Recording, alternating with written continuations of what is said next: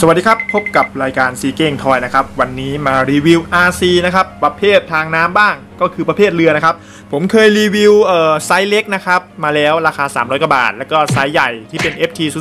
009แล้วก็มีตัวนี้นะครับ เป็นไซส์กลาง วันนี้จะมารีวิวไซส์กลางนะ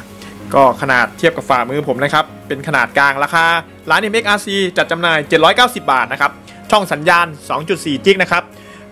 ชื่อกล่องบอกว่า Speed Boat เรือเร็วอะนะ โอเค เรามาดูว่ารูปแบบกล่องมีอะไรกันบ้างนะครับ ด้านข้างก็จะเป็นคู่มือนะครับ สอนว่ากดไปหน้า ไปหลังเลี้ยวซ้ายเลี้ยวขวาอะไรประมาณนี้ก็ตามคู่มือนะครับ อันนี้สายเรือนี่จะเล่นเป็นกันอยู่แล้วอ่าด้านหลังก็จะมีสีให้เลือกอยู่ 2 แบบเป็นสีน้ำเงินแล้วก็สีส้มนะครับ ตัวนี้นะก็มีสัญลักษณ์การนำเข้านะครับ สิ่งที่เราจะได้มาก็จะมีบอกออรายละเอียดเกี่ยวกับเรือตัวนี้นะครับ ก็ฝาครอบนะ แล้วก็ชิ้นส่วนต่างๆนะครับ แล้วก็วิทยุบังคับ โอเค เดี๋ยวมาอันบ็อกกันเลยว่าในกล่องในราคา 790 บาท ร้านนิมิกอาซีให้อะไรเราบ้างนะครับ อะ แกะเลย ก็เป็นฝาเปิดธรรมดานะครับ ข้างในก็จะเป็นโฟมนะครับ ในการแพ็กเกจการการสั่นของตัวสินค้านั่นเองอันบล็อกออกมาแล้วหน้าตาการแพ็กก็จะอยู่ประมาณนี้นะครับ สิ่งที่เราจะได้เนี่ยก็จะมีเอ่อขอแกะออกมาก่อน ใบพัดเป็นใบพัดเอ่อพลาสติกนะครับนะมาให้ 2 ใบ มีแบตเตอรี่นะครับ ในรูปทรงประมาณนี้นะ เป็น 700มิลลิแอมนะครับ ตัวนี้พร้อมเออสายชาร์จ ชาร์จก็ประมาณ 1 ชั่วโมงครึ่งนะครับนะกับอะแดปเตอร์ตัวนี้นะครับก็น่าจะชาร์จประมาณชั่วโมงครึ่งนะครับ หรือว่าสังเกตไฟก็ได้นะ โอเค เดี๋ยวนี้ผมเอาไปชาร์จเลย แล้วก็ตัวรีโมทคอนโทรลนะครับ สีสันสดใสเลยไม่ต้องกลัวหายนะครับ ก็มีปุ่มสวิตช์ on ปุ๊บ แล้วก็ขับเคลื่อนนะครับ เดี๋ยวไปหน้านะน่าจะประมาณนี้นะครับ นี่เลยก็ใส่ถ่าน AA 2 ก้อนนะครับ 1.5 โวลต์โอเคอะเก็บก่อนอะต่อไปเราก็มาแกะตัวเรือนะครับ เดี๋ยวขอใช้เวลาแกะนิดนึงนะ ก็เอาโฟมนะครับ โฟมที่ขั้นตรงเนี้ยออกนะครับ แล้วก็ดึงขึ้นมาได้เลย นะโอเค มีเศษโฟมติดนิดหน่อยนะครับ มันเลียวจริง ๆ นะคลิปนี้ ตัวนี้เป็นตัวสีส้มนะครับ แต่จะแตกต่างจากเจ้าตัว FT 009 ก็ตรงที่ว่าไม่มีแท่นนะครับ แล้วก็รูปทรงเนี่ยดูทรงเป็นทรงสปอร์ตเลยนะ ไม่ต้องกลัวเรื่องระบบน้ำเลยนะครับ ด้านใต้ท้องก็จะมีเอ่อพูดง่ายก็คือ QC อะไรนะ มาดูส่วนหางเสือเขาเรียกว่าอะไรอะใบพัดละกัน ใบพัดเป็นพลาสติกนะครับ ก็ช่วย save เรื่องของการโดนมือเราแต่ที่จริงตอนบังคับนี่ก็อย่าเอามือไปโดนเลยนะ อันตรายนะครับ เนี่ยเขาบอกไว้คำเตือนนะครับ เด็กๆเล่นก็ต้องอยู่ในการดูแลของผู้ปกครองนะครับ ส่วนตัวนี้ก็จะเป็นรูปลักษณ์นะครับ ลายก็ฉบเฉียวเลยนะมีปีกด้วย วิธีการเปิดล้างถ่านนะครับ ก็หมุนนะครับ หมุนตัวนี้ออกนะ มันจะเป็นการล็อกนะครับ แล้วก็เปิดออกได้เลย ก็จะเห็นระบบข้างในนะครับ มีมอเตอร์ 2 มอเตอร์นะ แล้วก็แกนเป็นแกนทองเหลืองนะครับ ดูเนี่ย โอ้โห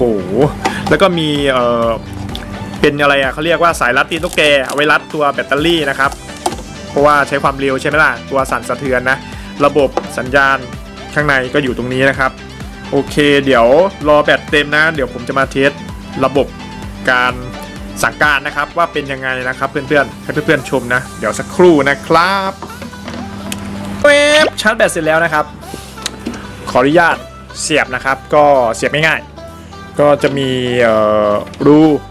นะเป็นทรงกลมครึ่งวงกลมนะครับ ก็เสียบเข้าเลย ไม่ต้องมานั่งหานะครับ ตัวไหนบวกตัวไหนลบนะครับ เสร็จแล้วก็ตามคลิปเลยนะครับ ก็คือใส่แบตเตอรี่ครับอ่าเข้าไปในช่องรางถ่าน ช่องรางแบตนะครับ แล้วก็พันตีนตุ๊กแกตีนตุ๊กแกตุ๊กแกอะตีนตุ๊กแกนะครับ พันเข้าไป เดี๋ยวสักครู่นะ นี่นะครับแน่นๆละอ่าไม่ให้มันมีการสั่นเคลื่อนไหวนะครับ กันแบตเตอรี่หลุดออกจากรางถ่านนะครับ เสียบไปเลย ตัวนี้ก็จะเป็นเดือยประมาณนี้คล้ายๆ ตัว FT 009นะครับอ่าเดี๋ยวมาลองเทสนะครับ ก่อนลงสนามจริง นี่คันนี้นะ ก็คือวิธีนะครับ คือมันจะมีระบบ safety อยู่ก็คือหลังท้ายใบพัดเนี่ย ก็เอาลงแช่น้ำเลย หลังจากแช่น้ำเสร็จแล้วเนี่ย มาเปิดสวิตช์ที่ตัววิทยุนะครับ ข้อ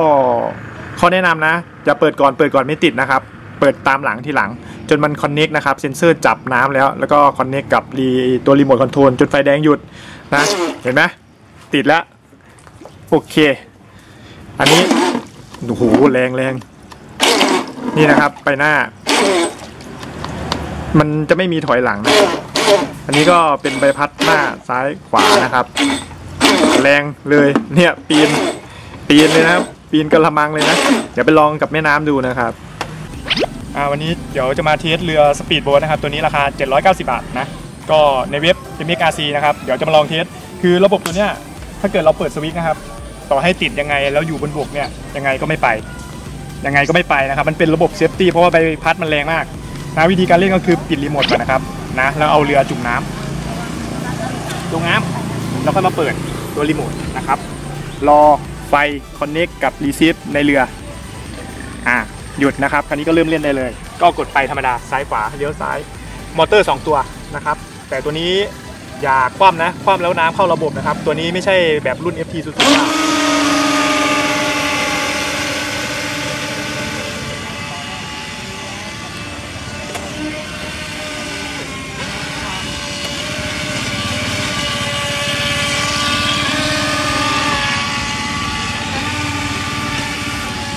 เปิดเด็กจะค้าง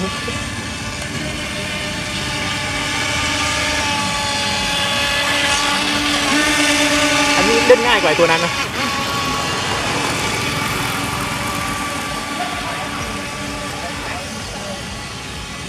เฮ้ยเล่นไกลแล้วลองไปให้มันไกลสุดให้สัญญาณมันหมด แล้วเราค่อยเดินไปตามมัน ตัวแบตหมดเนี่ย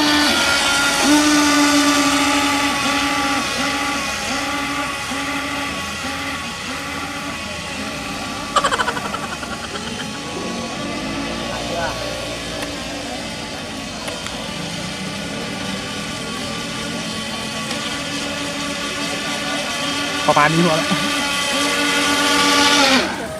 โอเคนะครับอะ